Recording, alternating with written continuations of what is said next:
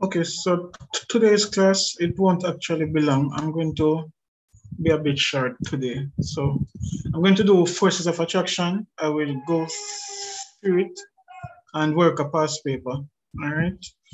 I will tell you when again we will meet to do the other topics. All right, so for tonight, I'm just going to do forces of attraction and work some questions.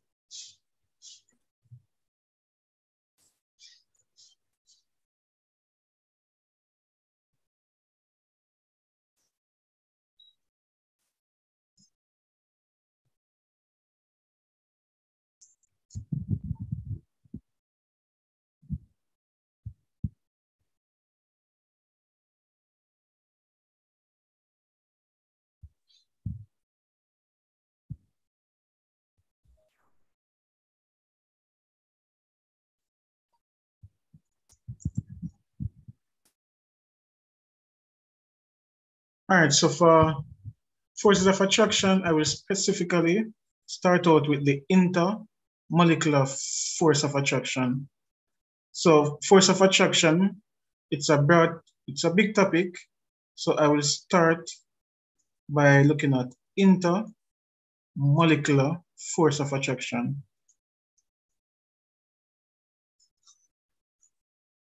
All right, so intermolecular forces these are hydrogen bonding,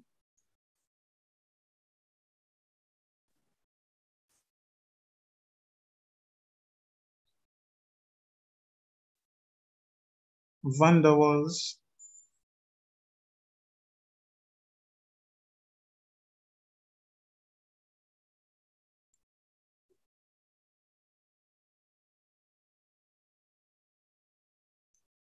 and permanent dipole. All right, so first, intermolecular force, it's the attraction between molecules. So it's not the actual bond within a compound. So for example, in water, this is a covalent bond, all right? So that is not an intermolecular force.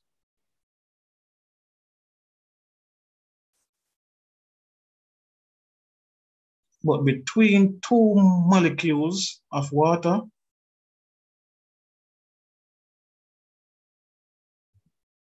I soon explain how we get these negative and positive charges.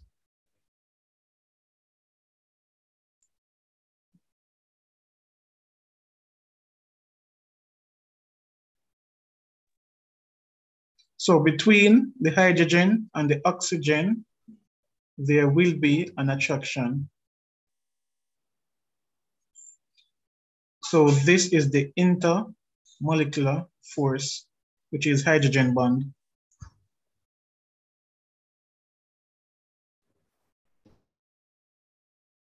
All right, so this is the intra, well, this is inter, between two molecules not within. So I just want to make that distinction. All right. So we're looking at intermolecular forces and the three of them, hydrogen bond, van der Waals forces, and permanent dipole. So the first thing I'm going to do is explain the term dipole and how we get it. All right. So dipole. And I will get back to hydrogen bonding.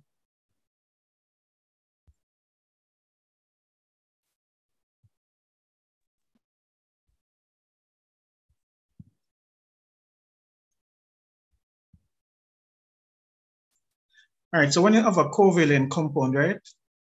Or let's just look at a covalent bond. So a bond between two non-metals.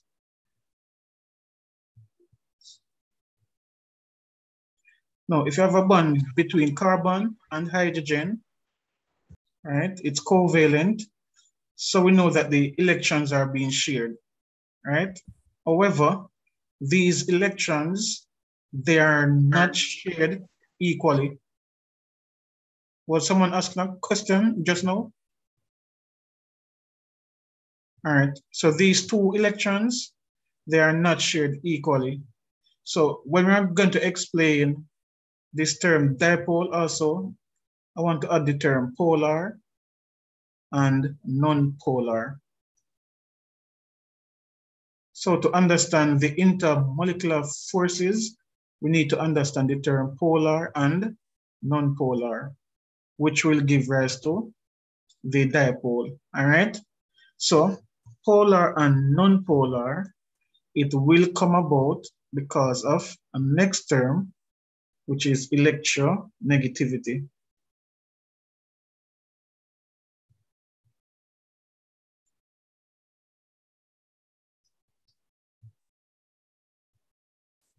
All right, so to understand the whole intermolecular force, we're going to look at first electronegativity, and that is what will lead to bonds being polar and non-polar. So oxygen is a very electronegative atom. So if it is very electronegative, that means it will pull onto electrons strongly. Hydrogen is not, is not, it's not electronegative, all right, to any extent like oxygen. So the electrons, they are not going to be shared equally. They will be very close to oxygen. So I'm, so I'm going to move it closer to oxygen.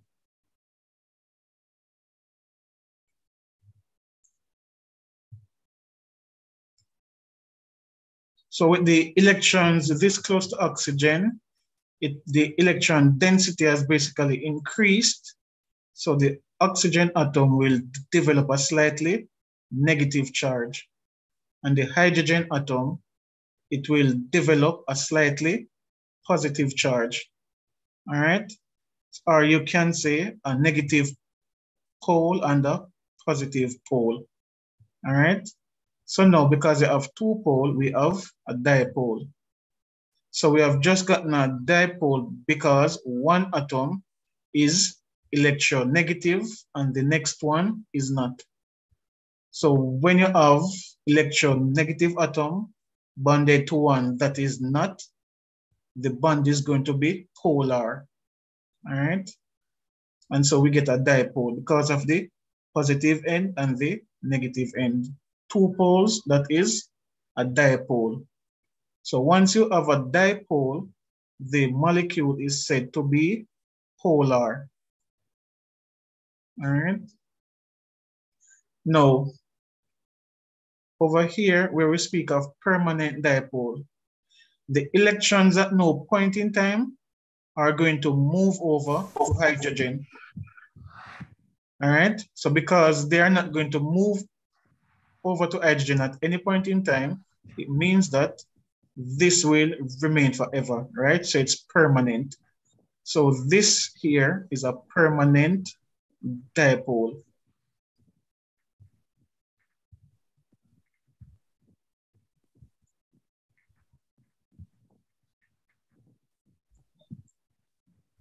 All right. So I'm just going to put some pointers on how we got the permanent dipole.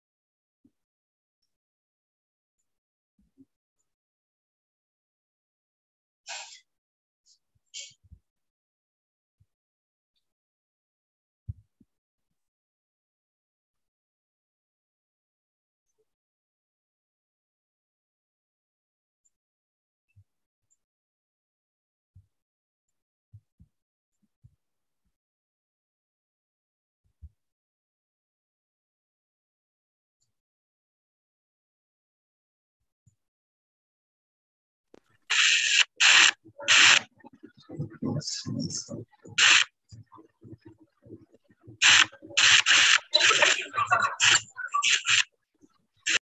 好，可以 kung.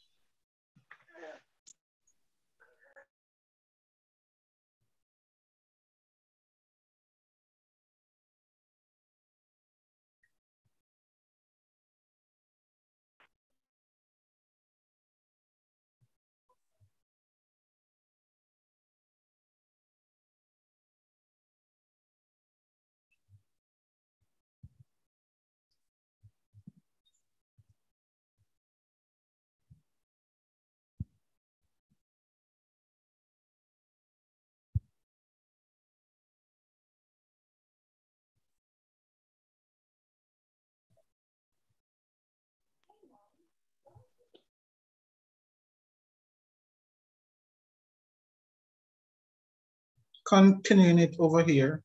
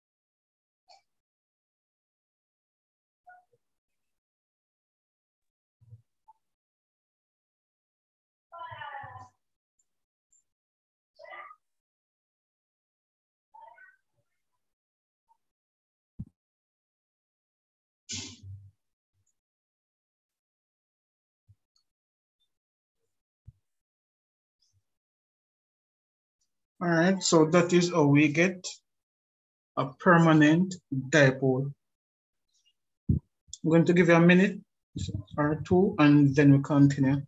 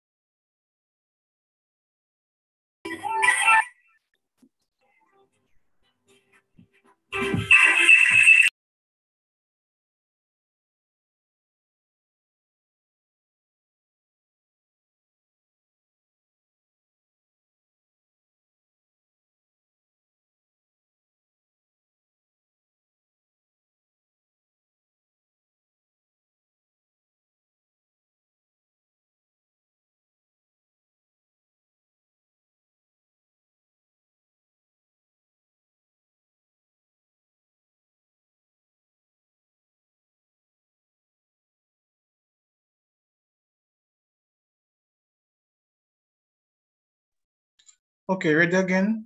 You can take a picture if you're not completed. All right. So we have just figured out how we get permanent dipoles. Now, hydrogen bonding is basically a special case of permanent dipole-dipole interaction.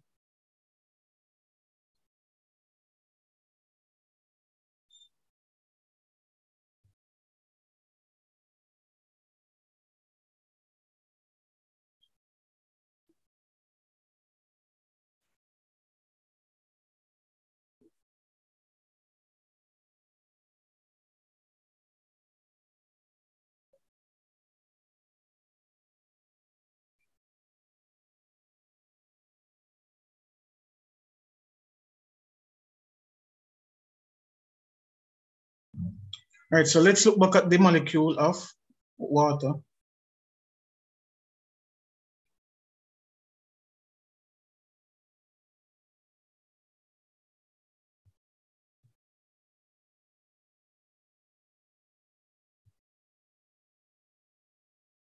So remember now for hydrogen bonding, all right, let me just,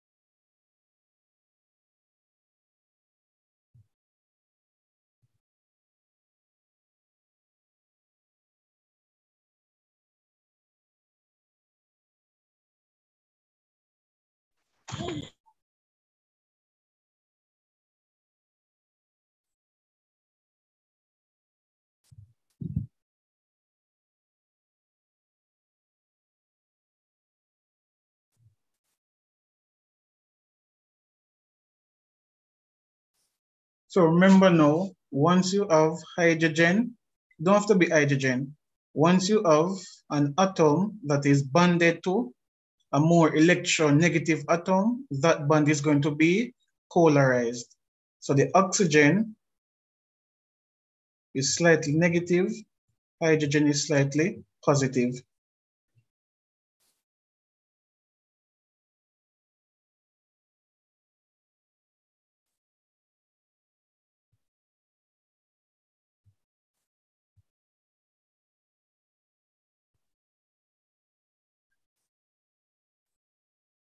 So when you get a compound, if you see hydrogen atom directly bonded to an electronegative atom, you can have hydrogen bonding.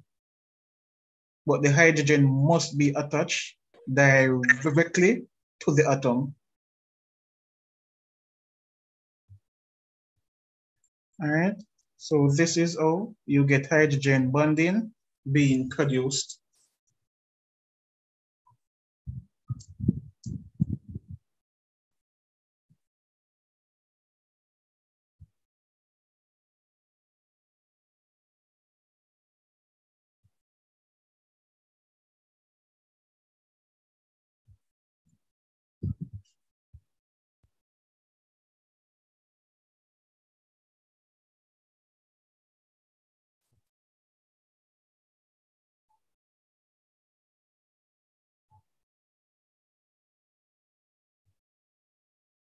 So that's hydrogen bonding. I'm going to do one with permanent dipole, the dipole interaction.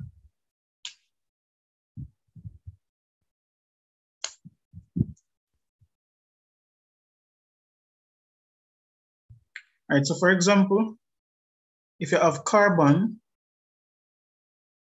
let's say we have carbon bonded to fluorine. Right. So let's say I have this compound, right? The fluorine, it will be slightly negative and the carbon will be slightly positive. So this bond is polar. So in this, you have a permanent dipole. It will not be hydrogen bonding because the hydrogen is not bonded to fluorine. So HF that would be hydrogen bonding because the hydrogen is directly attached to the electronegative atom. If hydrogen is not directly attached to it, it is not hydrogen bonding, all right? So this compound, it will not do hydrogen bonding. You will have permanent dipole, dipole.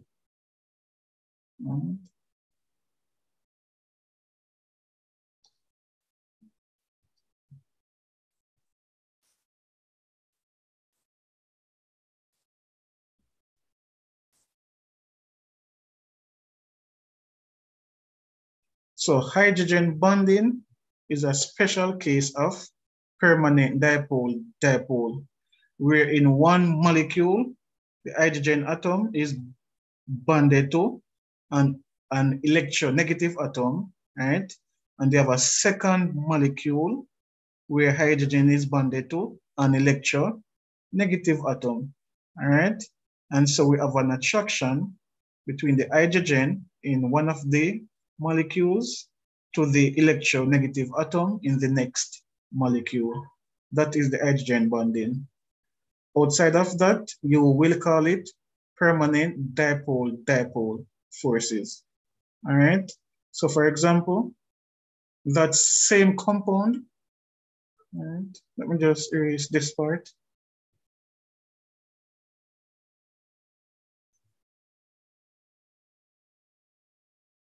So let's draw back. So the carbon is slightly positive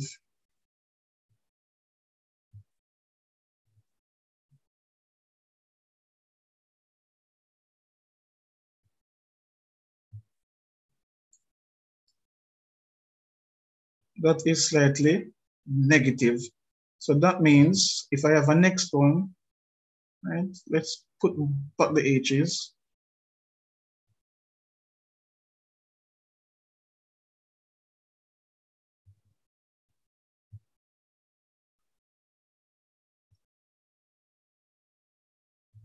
There can be an attraction between the positive carbon and the negative fluorine right? So that attraction, that's the permanent dipole, dipole.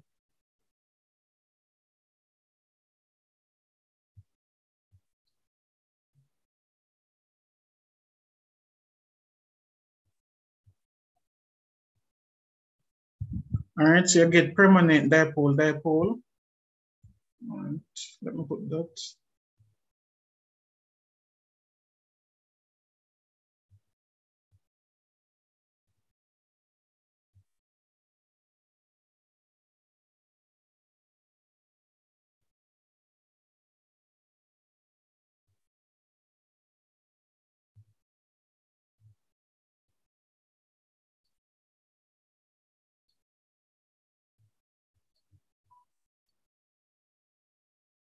Thank you.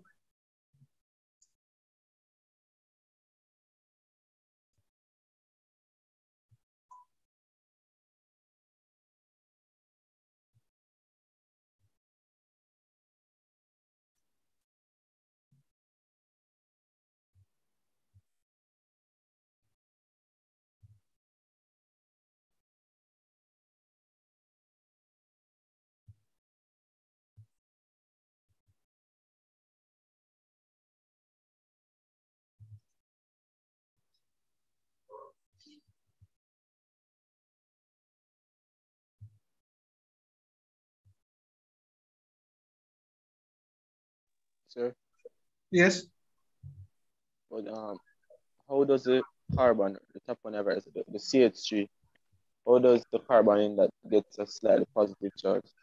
Is it like neutral or something? No, were you here when I was explaining the case with oxygen and hydrogen? Yes, sir. It's the same thing. So remember carbon. So, so let's just look at carbon and fluorine. The electrons, when they share them, because fluorine is electron negative, so electron negativity is the ability of the atom to pull electrons towards itself. So because chlorine is very electronegative, the electrons will not be shared equally between carbon and fluorine. So what will happen, fluorine is going to pull the electrons closer towards itself. So it's because of this uneven or unequal sharing. Come on, nice take around, it's a hot. Come on, guy, do away about me just send get my food. Place hot.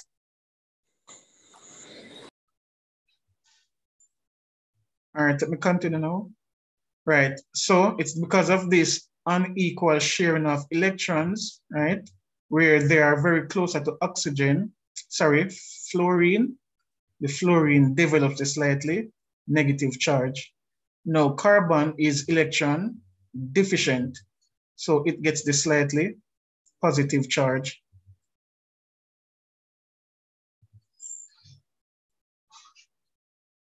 Fluorine replace.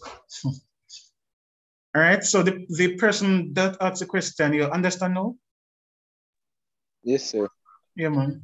So once you see, it's typically in, especially in these cases, it's, you will typically get carbon and hydrogen bonded to an, bonded to an electronegative atom. So once you see carbon with group 5, 6, or 7, or hydrogen with group 5, 6, or 7 in the first row.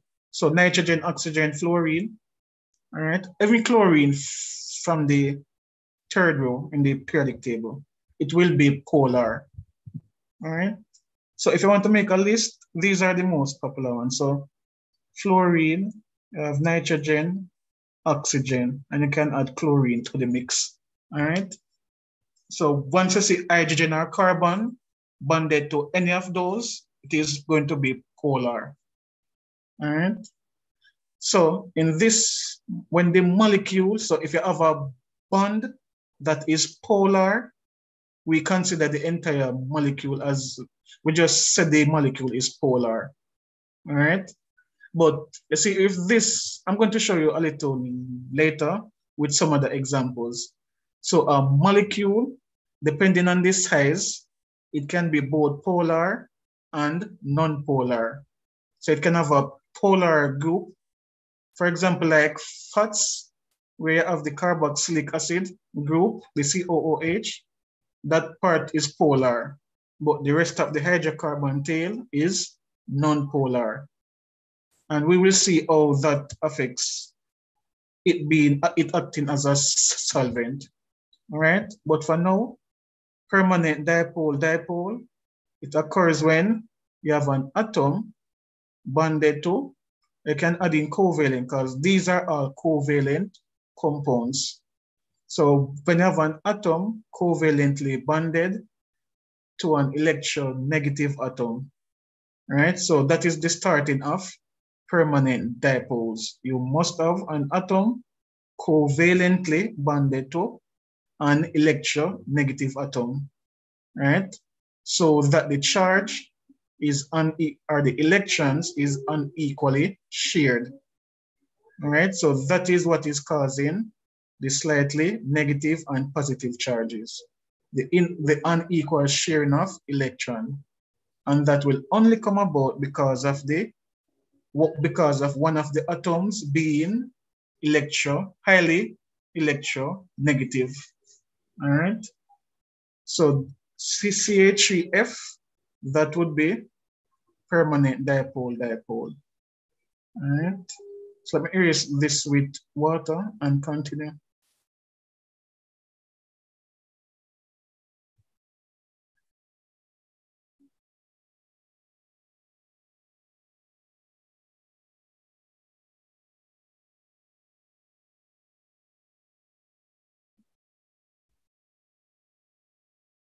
All right, so let me see, where was I? All right, an atomic bonded to an electronegative. An atom is bonded to an electronegative. You should have atom right here as well. So an atom is bonded to an electronegative atom in a compound. This same thing happens in a second compound. All right, so that is the example here. So carbon is bonded to an electronegative atom. The same thing happens, all right? So let's do that. So, well, it's basically here. So the same thing happens in a second compound. And finally, so the third point, so this is point one, point two, point three,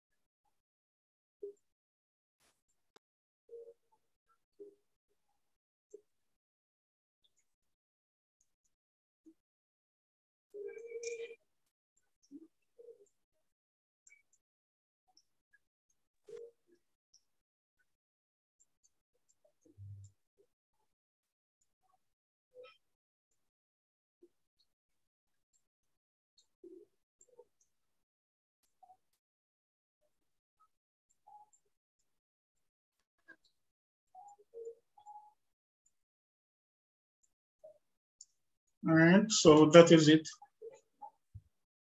So again, I'm going to give you a minute and then I and then we look at Van der Waals forces, which is the same as London dispersion forces, if you're familiar with that term.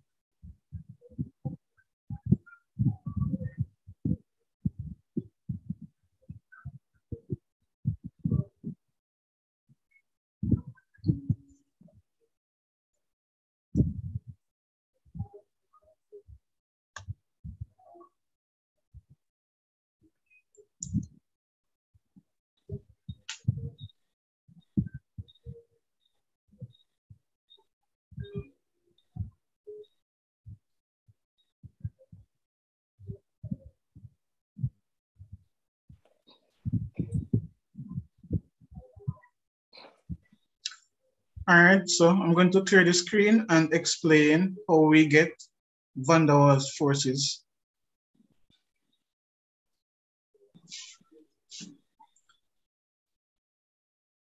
All right, so to explain Van der Waals forces of attraction, the first thing I need to do is explain temporary dipoles.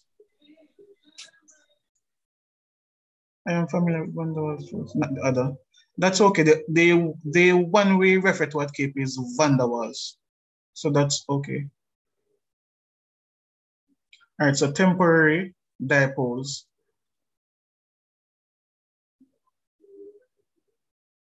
So if you notice, permanent dipoles come about when we have polar compounds. So the temporary ones are going to come from non-polar compounds.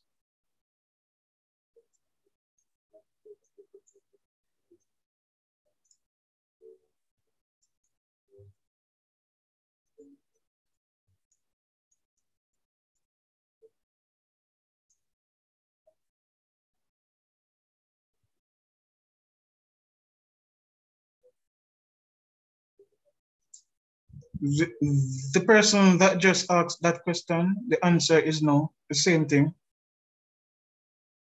When we say dipole, dipole, it's just referring to the interaction between the two dipoles from separate molecules. So it's not different. All right, so these arise from nonpolar compounds.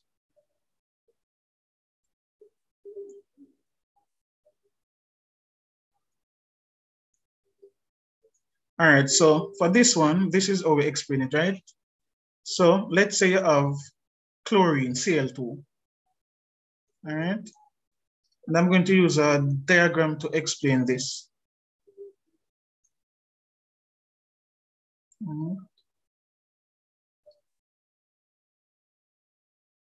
So the elect in a molecule, the electrons are constantly in motion, right? So the proposed explanation for this is that the molecules, sorry, not the molecules, the electrons are constantly in motion. So if there is random movement of electrons, then at some point in time, right? So let us say after and this is just for explanation purposes. So let us say the molecule started out like this, right? After 50 seconds,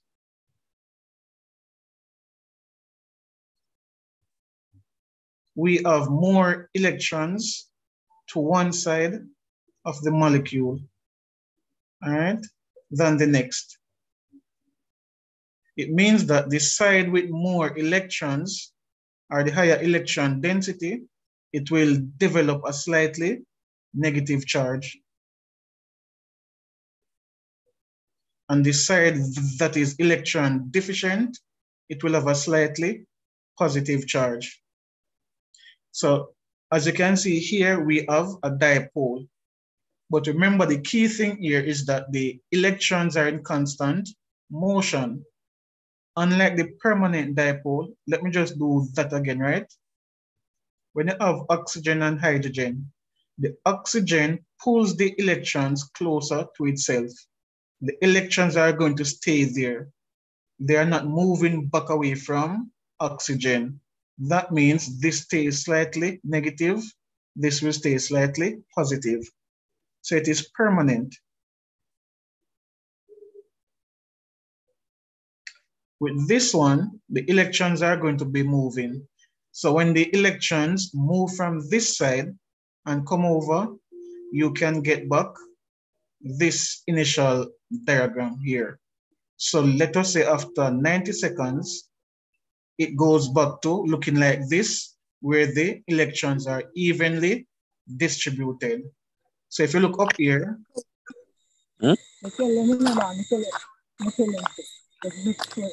hmm?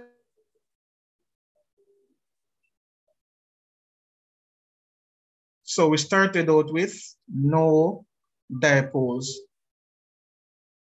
After 50 seconds, more electrons were to this side. So it developed a slightly negative charge, and this was this side developed a slightly positive charge.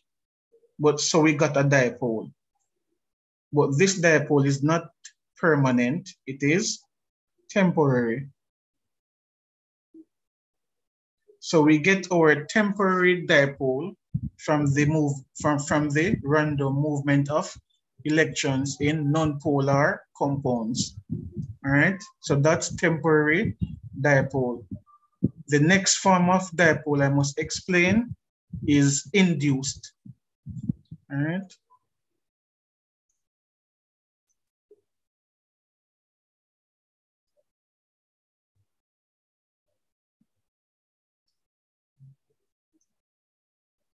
Now I'm going to put a neutral molecule again. All right, so this right here, we were just looking at what happened to one molecule.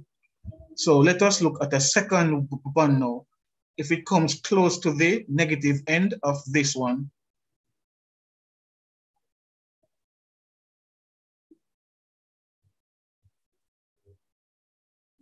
So again, you would have the electrons being evenly distributed.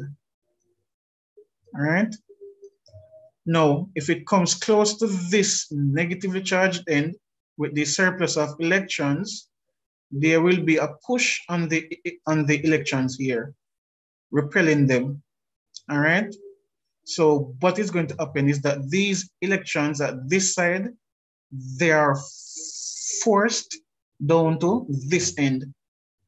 All right, so before the molecule was neutral, no charge. The excess electrons here pushes the electrons down to this side of the molecule. All right, so what that means is that we will not have a lot of electrons at, at this end. All right, so I'm going to leave one up there, but I'm going to put most of them to this side. So that means this side will develop a slightly positive charge and this one developed a slightly negative charge. This one, yes, I am explaining, right, but it is Van der Waals forces, but to get to Van der Waals forces, you need to understand how we get temporary dipole and induced all right? So the temporary dipole, all right, so remember for this, so I'm just answering a question that was texted. So the surplus of electrons at this end of this molecule is repelling the electrons from this molecule when it gets close to it. So right here we have electron repulsion. So the molecule, the electron in this one is pushed to the next side. So once you have a great amount of electrons to one side, that is when you get the negative charge. And on this side, it is electron deficient.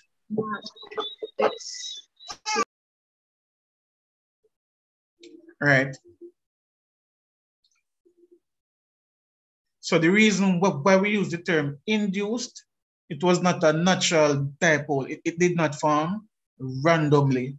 It was forced. So because it was a forced dipole, we say it was induced because it was due to the repulsion of the electrons to one side of the molecule that created this, this dipole. So it was induced, all right? Now, in inter, from what you have been seeing with intermolecular forces, right? Once you get a slightly negative end close to a slightly positive end, there will be an attraction. And we use broken line to show the attraction. So this attraction between a, the negative end of a temporary dipole and the positive end of an induced dipole, that is the van der Waals force of attraction. All right. So this attraction, so this right here, this attraction, that's van der Waals. And it is the weakest one.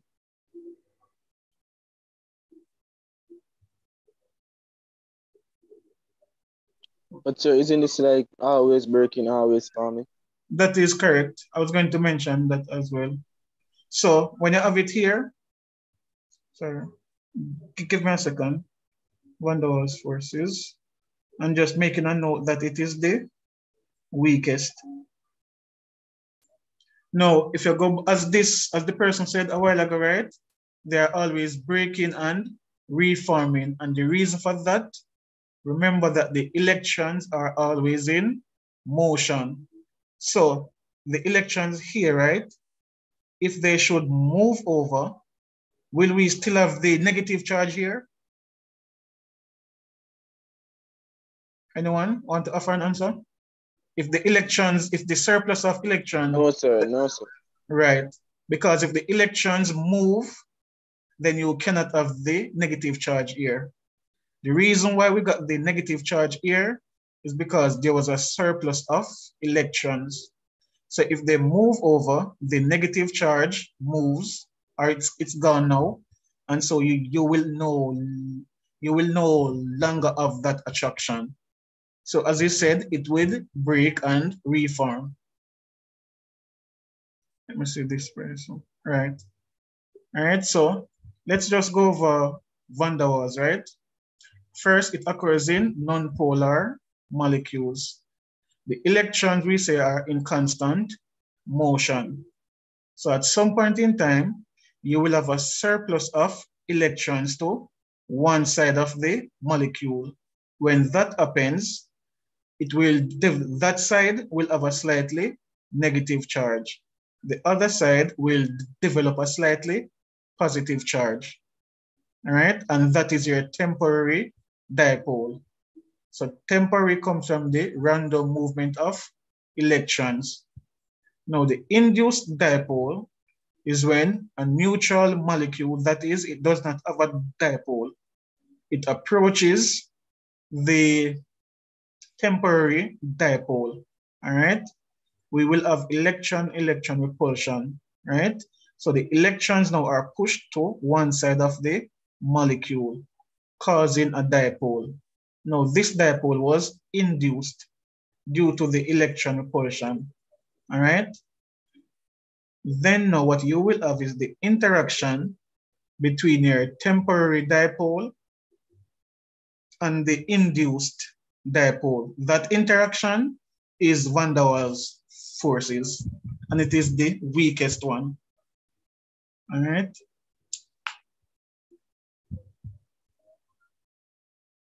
So induced dipole is not the same thing as temporary. No. So remember, temporary, well, it is still temporary about, in terms of how it came about. So the temporary, it was came about because of the random movement. So let me just do this one again here. So there's a little difference between the temporary and the induced. This one is just about the random movement. When the neutral molecule came here, All right. Remember it came without a dipole. All right, so let me just put in some electrons. All right.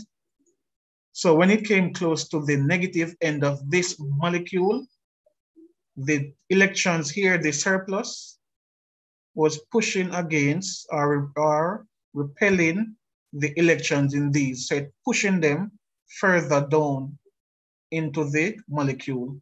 So the electrons are being pushed to this side. So it was not a random movement, it was forced. So because it was forced, we say it was induced. So when the electrons are forced to this side, this side develops a slightly negative charge and this one develops a slightly positive charge.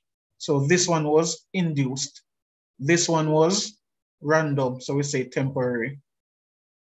All right, hope that was a bit clear. All right, so let me just move the electrons down. All right.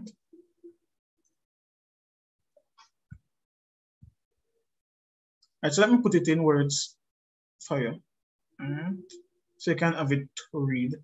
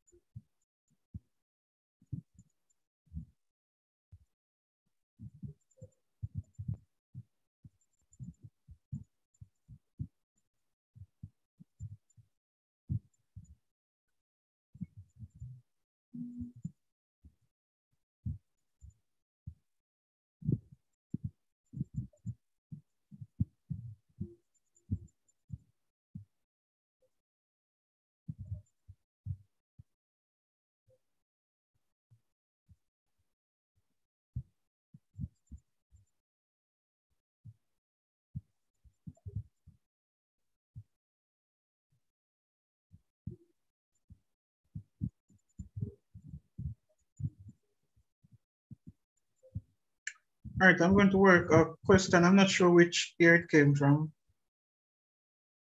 And before I do that, I'm going to, let's look at, I'm going to show you about dative covalent bonding. So I know you're familiar with covalent bonding, which takes place between two non-metals.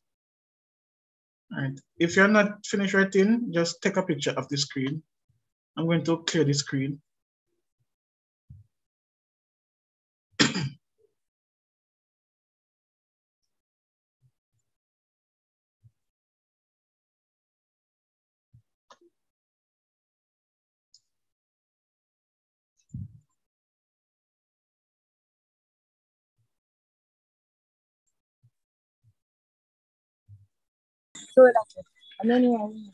Please repeat. Oh, ya no, vamos, vamos. Vamos, vamos. Vamos, vamos.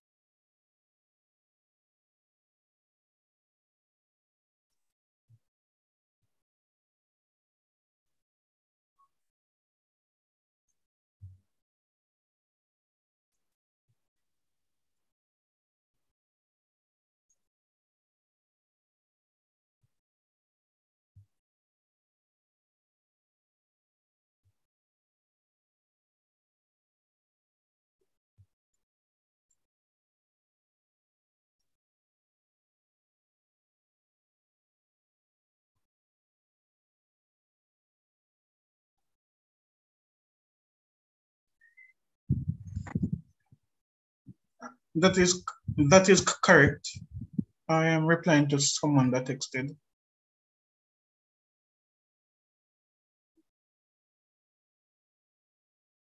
All right, so as we said, dative in dative so in regular covalent bonding, each atom would share an electron. So ammonia is regular covalent bonding, right? Where each hydrogen atom shared electron with the nitrogen atom. However, in dative covalent bonding now, one atom is donating both of the electrons. So for example, the hydrogen ion, it does not have any electron to form a bond. So if ammonia wants to form a bond, it will donate both of its electron to this hydrogen ion. And so you would end up with NH4 plus. All right, so these two electrons would be given to the hydrogen ion. All right, so that is how you would get NH4. So that's the dative covalent bonding. All right, so I want to get to this.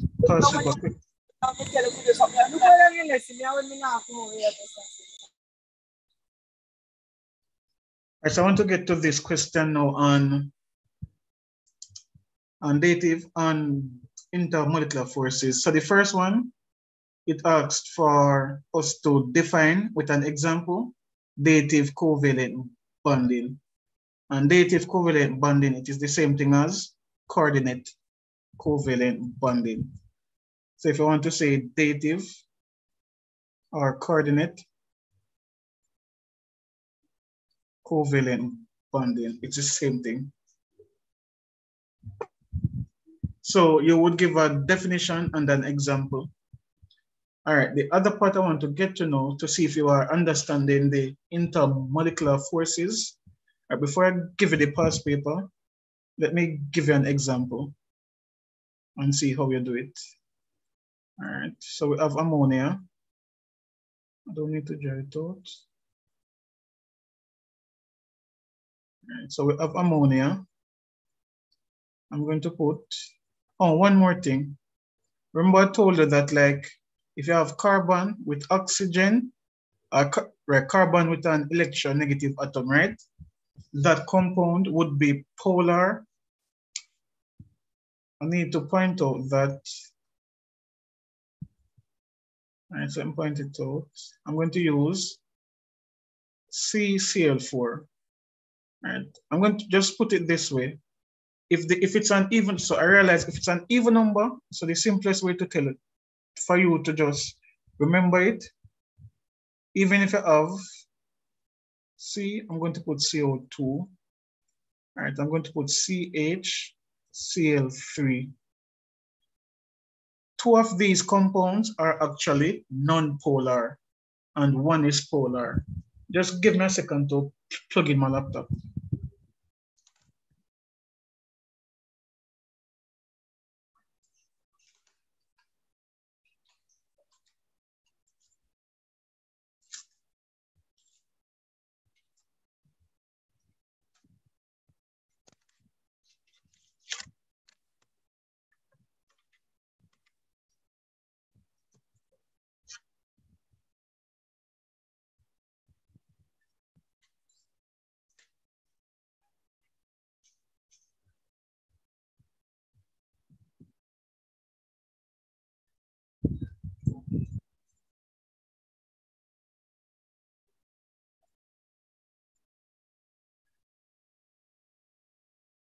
All right, so this one is non-polar, this is non-polar, this is polar. I'm going to explain why. So dipoles can cancel each other, all right? So the easiest way to, to let you get it for now, just know that if the numbers are even, they cancel. So this dipole cancels this one. All right, so slightly negative, slightly negative, slightly negative, slightly negative. These two cancel each other. The one above and below cancels each other. Right now?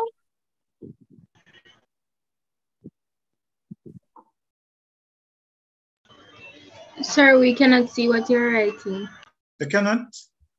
All right, I'm going to stop. I'm going to stop sharing and reshare.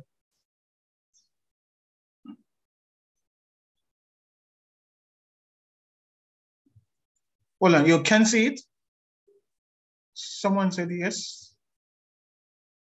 We can see, all right.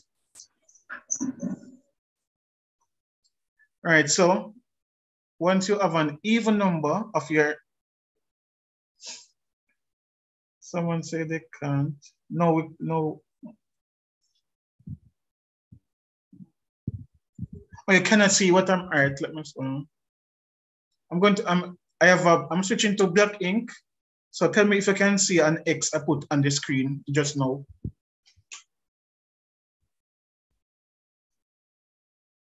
No, sir. All right. I'm going to stop share and reshare. All right.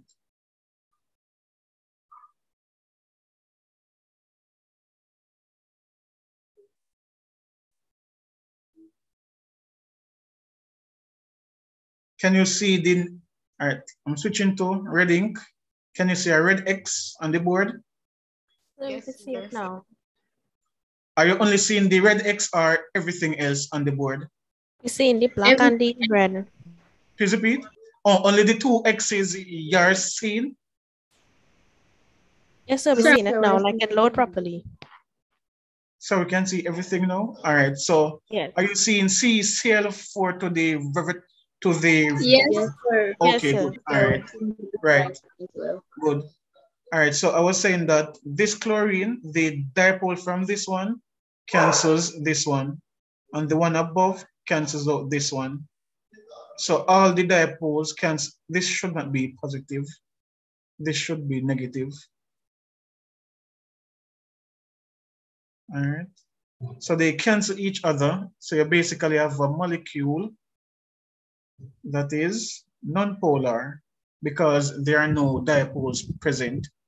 So that is why I said, once it's an even number, so just look out for that on the exam. If it's an even number, you it will not be a dipole. When I say even number, even number for your electronegative atom. And it has to be the same electronegative atom. So for example, carbon dioxide, how many oxygen are attached to it? So for carbon dioxide, they have two oxygen. So that means the dipoles will cancel. So it is non-polar. However, carbon monoxide will be polar because there's no canceling. All right. CH3Cl. Uh, Cl.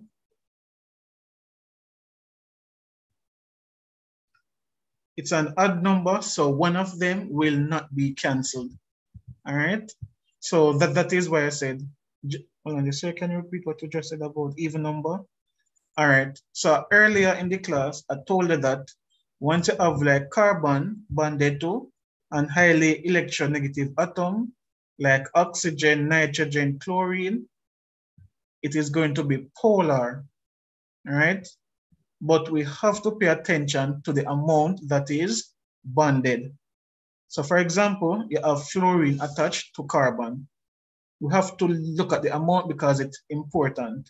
So CCl4, once you see C and Cl, you would say, okay, it's polar because it's chlorine, but it's actually not polar because it's four chlorine atoms. And so the dipoles formed are going to cancel each other out. These two cancel, these two cancel. So if it's an even number, they will cancel. But if it's an odd number, not everything will cancel out. One will always remain. So that one will be polar. So the same thing for us. Hold on, go ahead. Can you please go go over that? Go over it, please. I, I didn't I didn't hear you. can you please go over what we're talking about, please? Okay. All right. So just to keep it simple, when you have electronegative atoms bonded to your atom that is not, if it's an even number, right, all the dipoles will cancel. If you do not have any dipole in your molecule, it is nonpolar. So this chlorine is slightly negative, right? So that should make it polar. But this one down here cancels it. So, so none of them will have a negative charge, all right? This chlorine and this one out here cancels out each other. So neither of them will have a negative charge. So you don't have any dipole in this molecule because each one cancel the other. So it's like a pair of them canceling out each other. So you don't have any dipole remaining. So I was just saying that for you to remember it or just to get it for, for now, right? Because it's not, I'm just revising.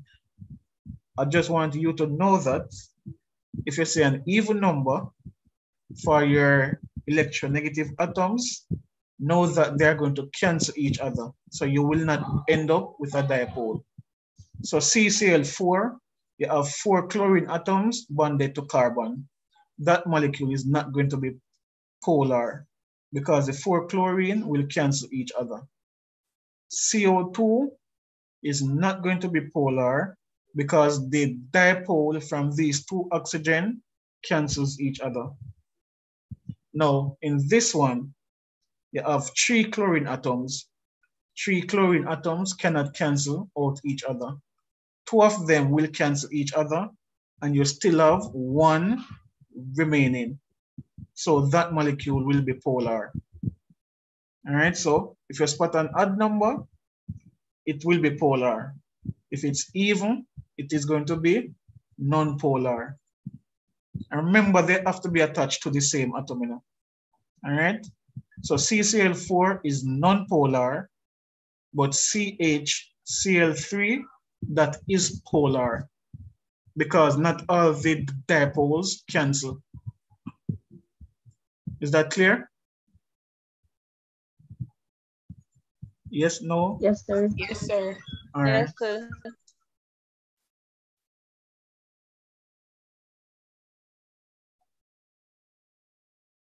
Even polar?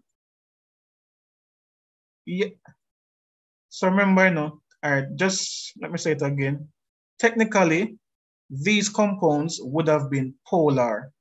Let's say to start out with, they would have been polar, but then they cancel out each other. So they become non-polar. All right. So the question now, these compounds, right? Which one, all right, so can you tell me the intermolecular force of attraction that would be in CCl4? So remember, we have hydrogen bonding, we have the permanent dipoles, and we have van der Waals force, which is from the nonpolar compounds. All right, so which one do you think is in CCl4? If you don't want to speak, you can text. All right, so let me see. Permanent dipole. Mm -mm. If you said permanent dipole, you missed what I said. Van der Waals is correct. Van der Waals. Right. All right, so let me tell so it cannot be, again, I know why you said permanent because of the chlorine. But remember, if you look at the, the diagram here, I am letting you know that the, the charges on the chlorine atom will cancel each other. So if you see four chlorine atom on a carbon, they cancel. So look, all right, let me do it this way. This chlorine cancel that one, as in the charge. This one cancel this one. All right, so it's non-polar. Right. So don't just so don't let this side of an electronegative atom trick you into putting permanent dipole. Look at the amount that is there. So for this one, this, take out this one. All right. So bam, bam. But nothing is there to get rid of this negative one. So it is still polar. So carbon is slightly positive, this chlorine is slightly negative. So we have a permanent dipole in this one.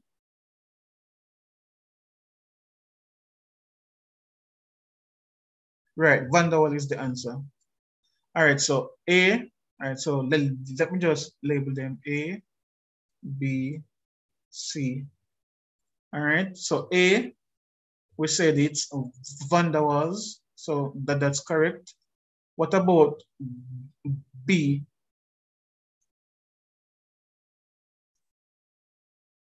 And so for B, Van der Waals, right, Van der Waals is correct because again it is non-polar. Van der Waals. All right, and what about CH3Cl? C. All right. Permanent dipole, right, that is correct. All right, so I'm going to put PD for permanent dipole. All right, I'm going to add one more. ammonia. What would it be for ammonia?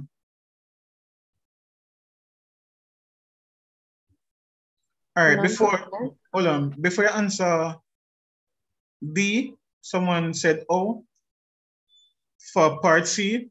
So let me just do that quickly. All right.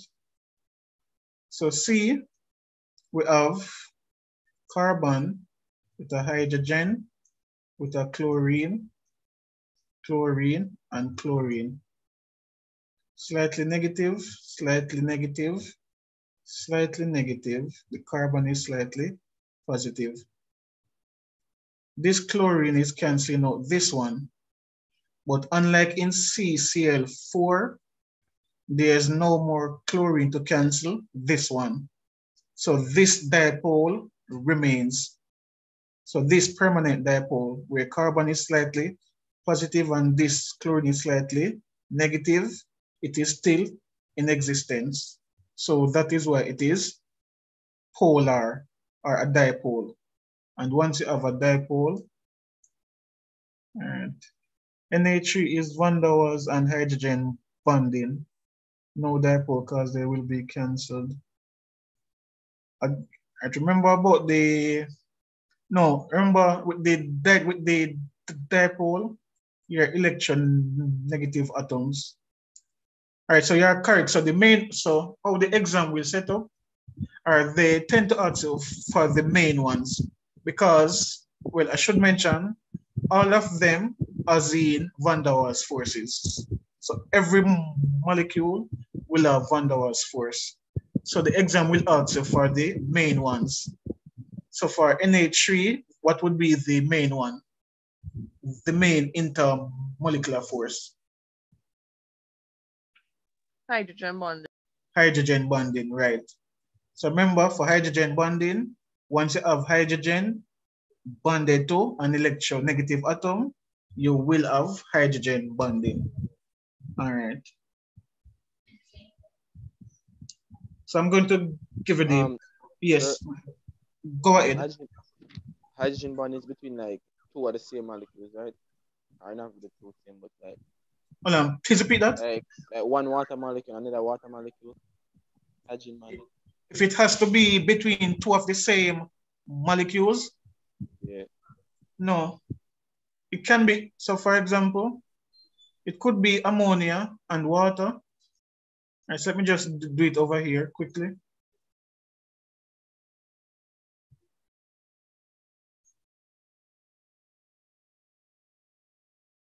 All right, so if you have water, right,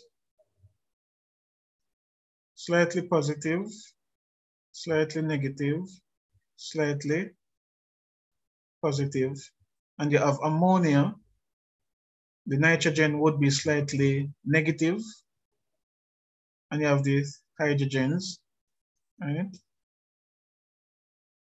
On the positive charges.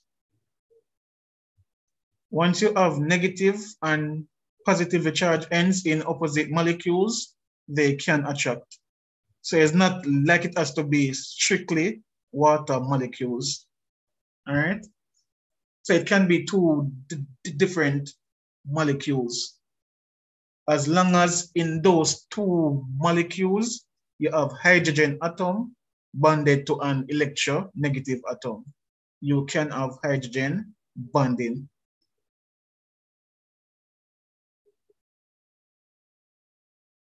Right.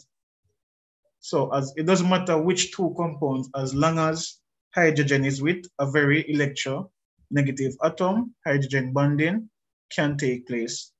But it's just that with the questions now, they will only give you one molecule and ask you for the type of bonding that would occur.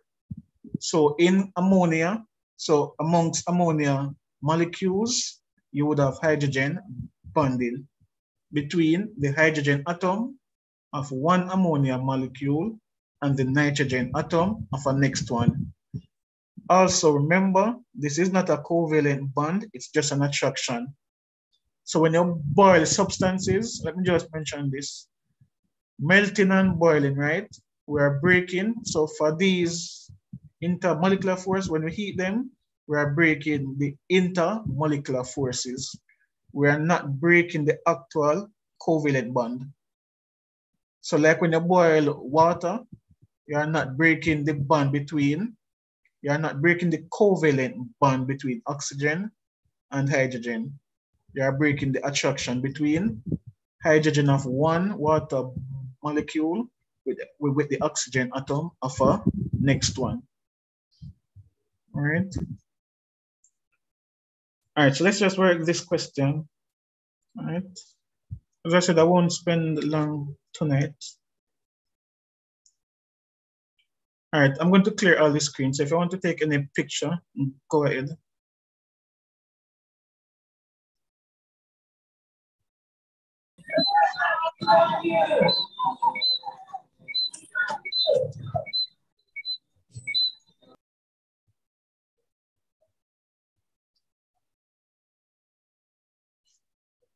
All right, so I'm going to put three compounds on the board now.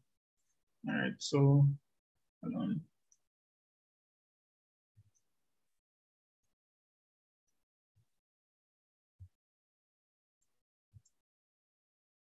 Just remember now, hydrogen bonding is the strongest. So when it comes to boiling point and melting point, hydrogen bonding will be the strongest one, followed by temporary, sorry, followed by permanent dipoles, and lastly, van der forces. All right. So just bear that in mind. All right, so this is compound A. Excuse me, sir. Yes, go ahead. Could you you said, please? All right, so in terms of strength of the intermolecular force, hydrogen bonding is the strongest intermolecular force of attraction. Hold on, give me a second.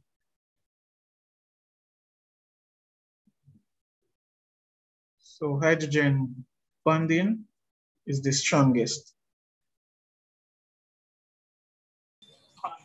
After hydrogen bonding, it's the permanent dipole.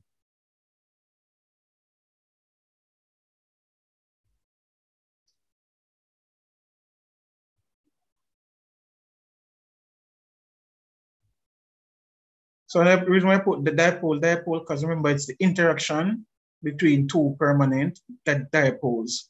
That will be the attraction. And then, so, then you will have van der Waals, which is the weakest.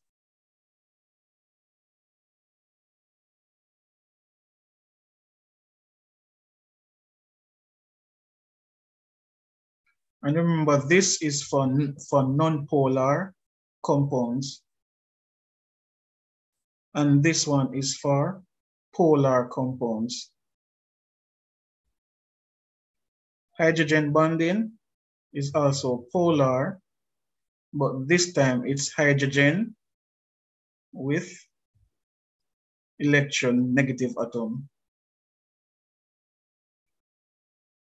So in the three diagrams, these are the things you are going to look out for.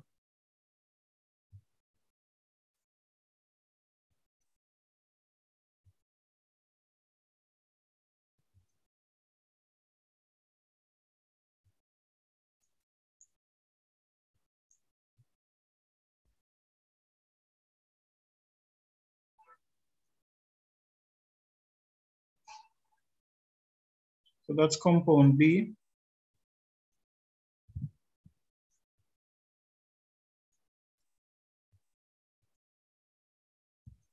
So you are to arrange them in order of increasing boiling point with the, with the lowest boiling point first.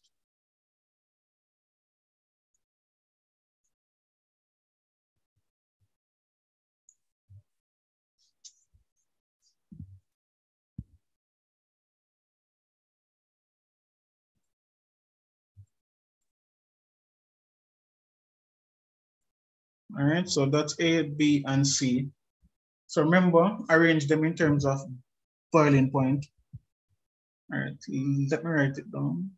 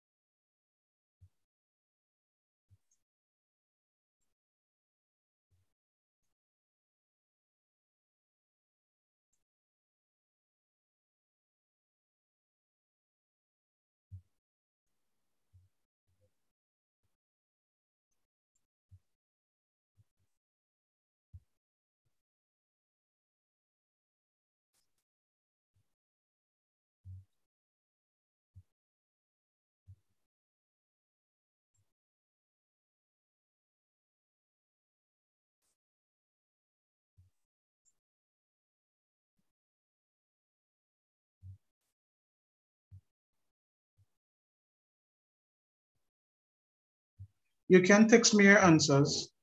All right, so if you're finished and want to share them, you can do so.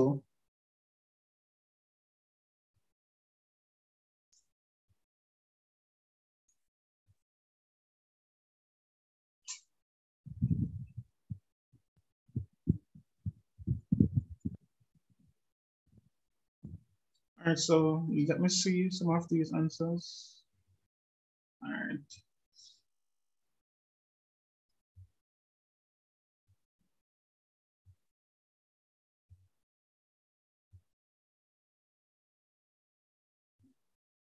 So see.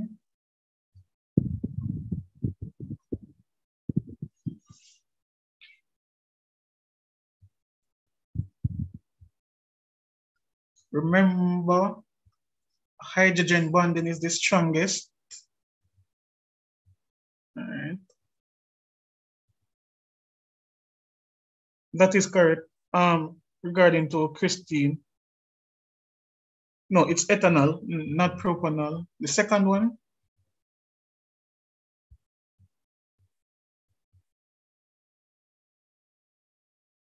The second, it's ethanol.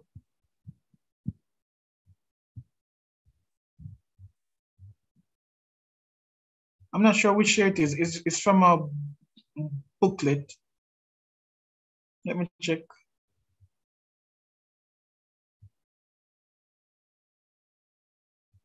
Oh, yeah, it's propanol. Yeah, it's propanol. But it wouldn't change, it wouldn't change the answer, even though it's propanol. All right, so I'm going to fix it. Hold on.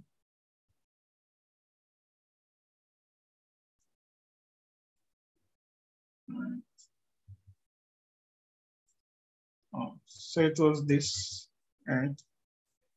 All right, so I'm seeing most persons saying C, B, A. I'm, right, I'm seeing CBA for, for most persons. One person said CAB. The CAB person is correct. I saw one so person. The CAB. Right. So, all right, so let us see what they asked. Are placed substance A, B, and C in order of increasing boiling point. That means you place the one with the lowest boiling point first. Everybody start out with C, which is good. That means everyone can identify van der Waals forces. So everyone see that it's carbon and hydrogen, that's a non-polar compound. All right, so this is non-polar. And once it's non, hold on, all right. Once it's non-polar,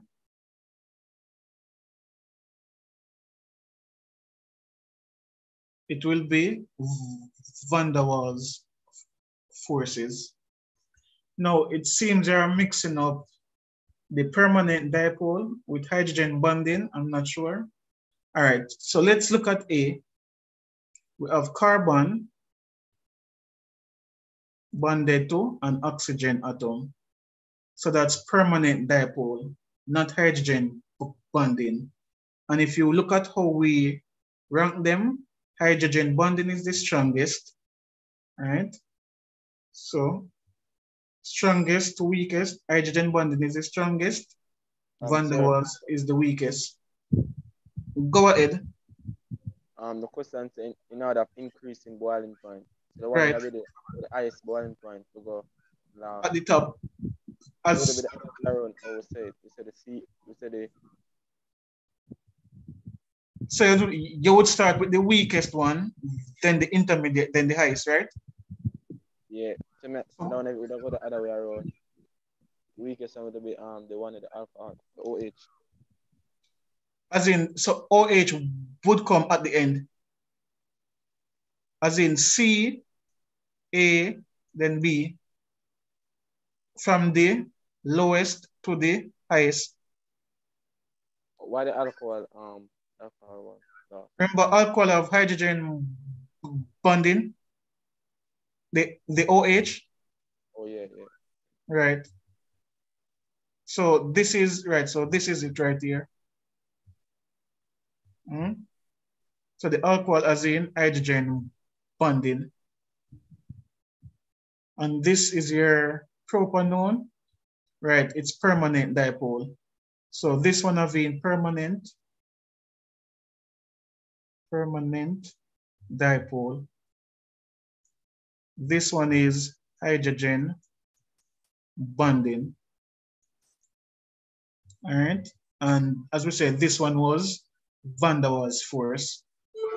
So we know that Van der Waals is the weakest, hydrogen is the strongest. All right. And so this one is in between. All right.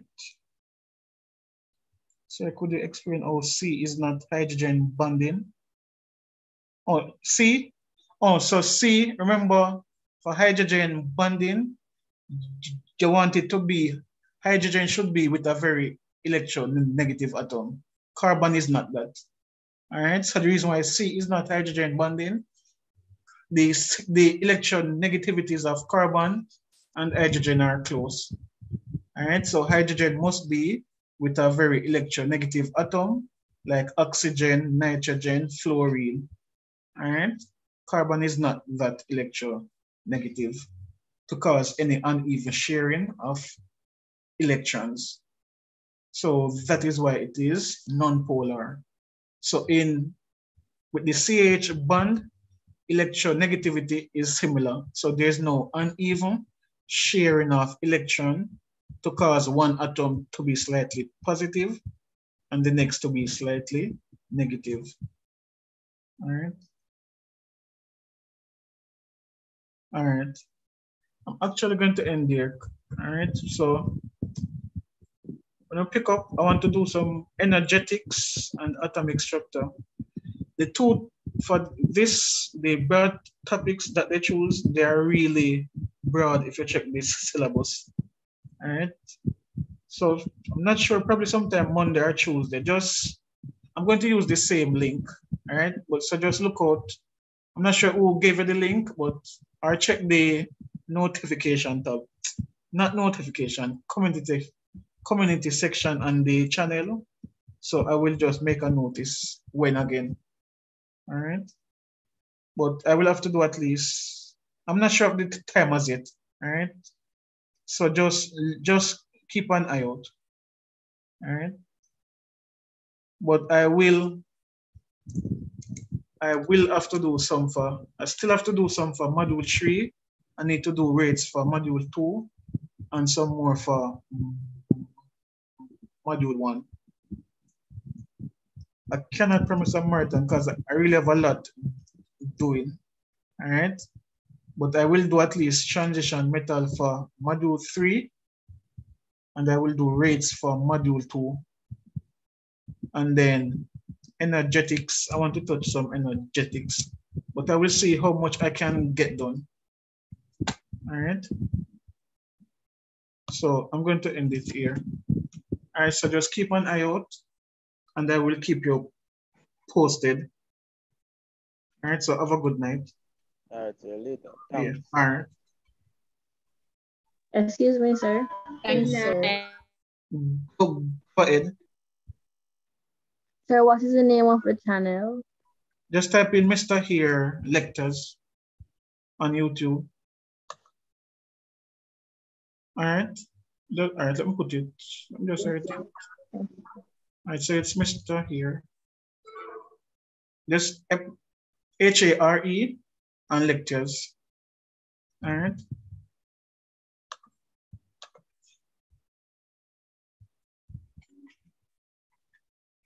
The live, this class, it will be saved. Just click on playlist. We are going to see uh, a heading says Unit 1 Chem live sessions.